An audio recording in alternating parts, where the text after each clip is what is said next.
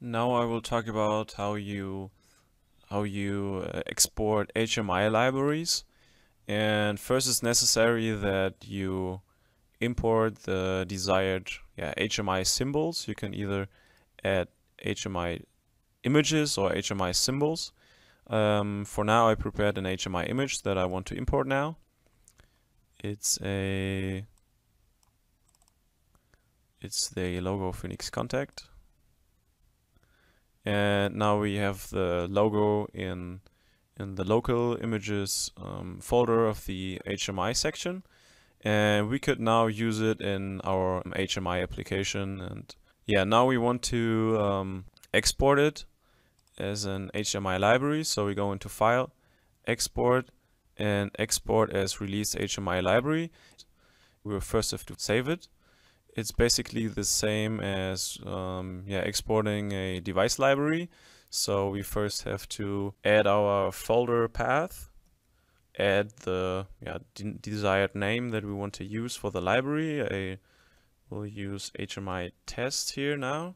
And just like in the settings of the device library, it will add the file type uh, PCWLX at the end. Uh, here we can add, uh, if desired, a version and a, a further description um, of the library. Next, we can set the redistribution type and it basically determines if the user is able to release his or her project as a library, if your library or this library we are, we are um, generating right now is included into the project. So you can set it either to unlimited or to one level only. And um, yeah, next there's create new library ID. It's here in gray.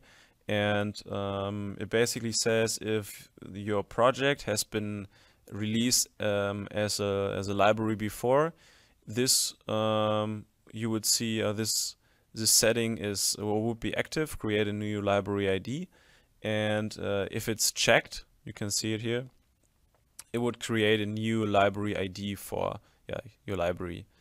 Um, next, in this field, you can see all the yeah, HMI symbols and the images that are included into your new library.